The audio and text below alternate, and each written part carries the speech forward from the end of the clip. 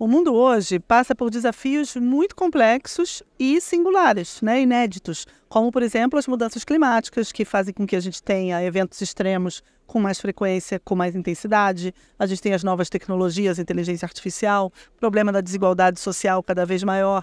Todos esses problemas, eles precisam de ciência e tecnologia aplicado às políticas públicas. Então, a gente tem esse grande desafio de saber como a gente desenha e implementa políticas públicas que utilizem ciência e tecnologia, mas de uma maneira voltada para as soluções dos problemas da, do cotidiano das pessoas.